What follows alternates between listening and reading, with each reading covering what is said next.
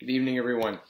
I know this isn't the way that we want to gather for Christmas Eve service, and trust me, it was not an easy decision to make to have to cancel tonight. But with the way the weather has been, uh, our parking lot not accessible, uh, we just wanted to make sure that it was safe for everyone. So here we are with recorded message, some music, a video that went up for our kids.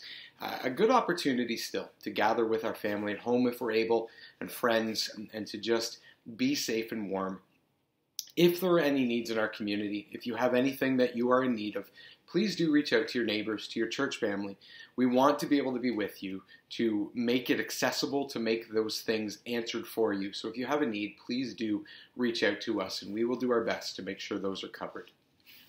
As we uh, read tonight, if you've joined with us in person or watched online the last few weeks, we've been talking about preparing for the King, talking about Jesus coming through the, the, the Advent season into Nativity, preparing for the King that was promised.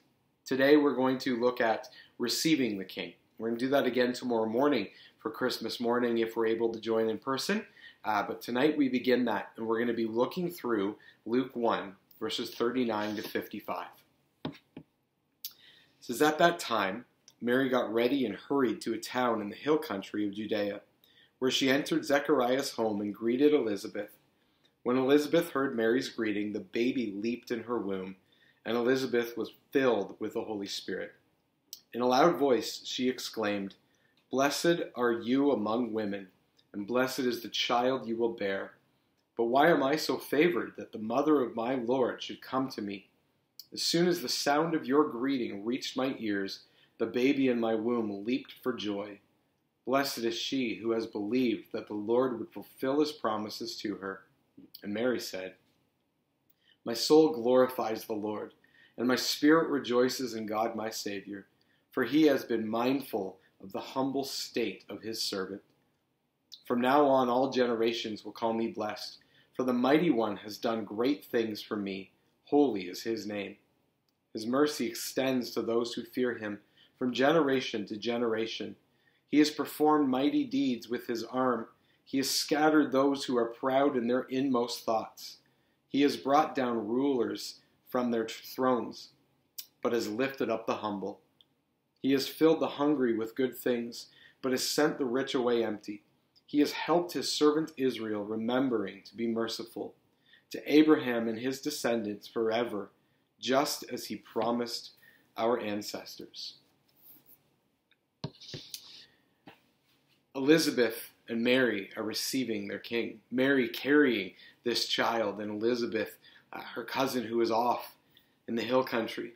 In that moment when Mary walks through the door, Elizabeth is filled with joy. The mother of her king, of her Messiah, comes into the room, and the unborn John the Baptist, who, Mary, who Elizabeth carries, leaps in her womb. The knowledge of the presence of Jesus in that moment fills the place, and John the Baptist leaps in joy.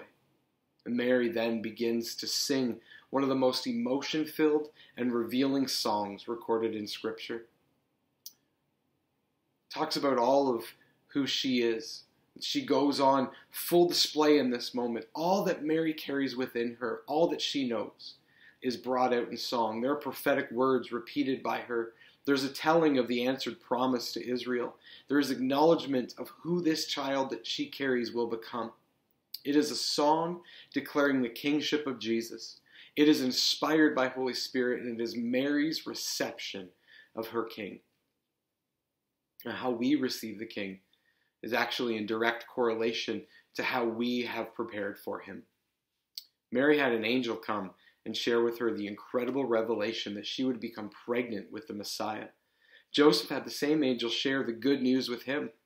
Elizabeth had a supernatural encounter with Jesus before he was born. The wise men followed a star. The shepherds had an angel chorus sing of his glory and how to recognize him.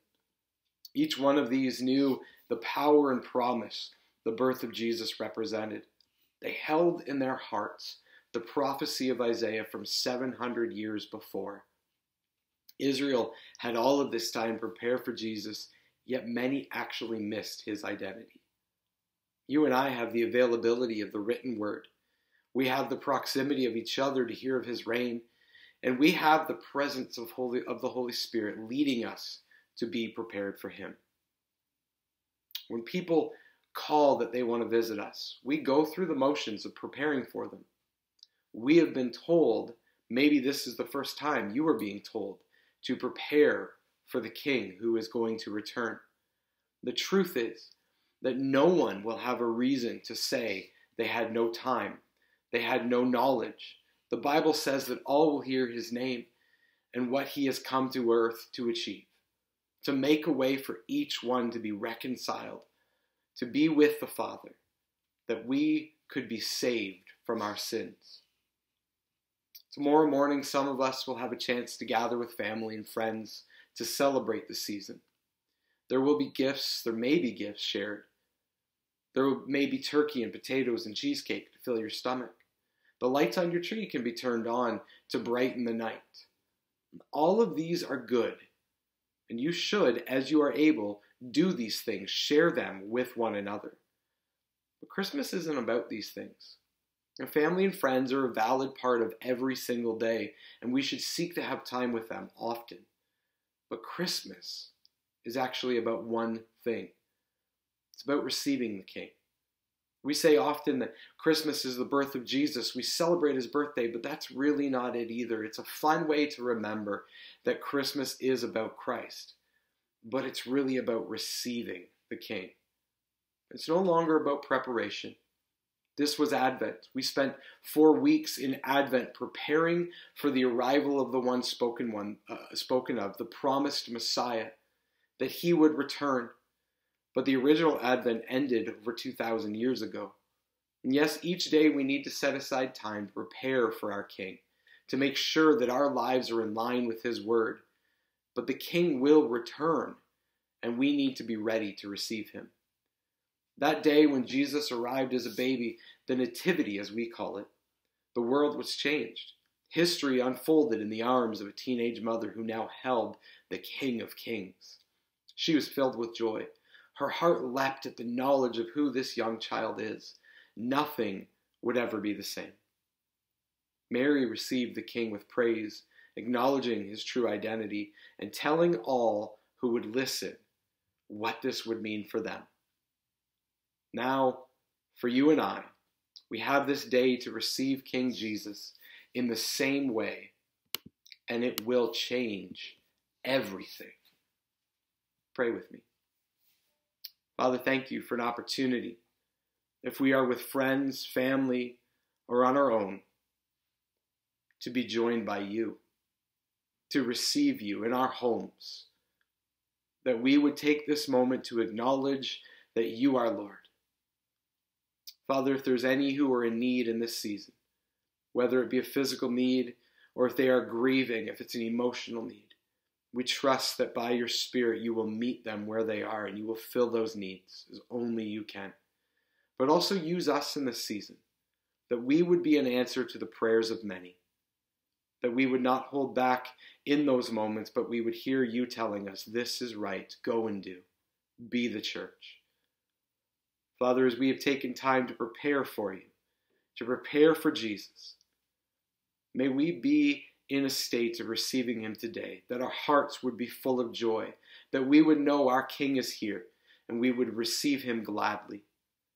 And in these moments, I pray, Jesus, that you are glorified, that you are honored in our hearts and our lives, that we would take a moment on this Christmas season, on Christmas Eve 2022, to acknowledge who you are, and rightfully in our lives, that we would place you high above all others.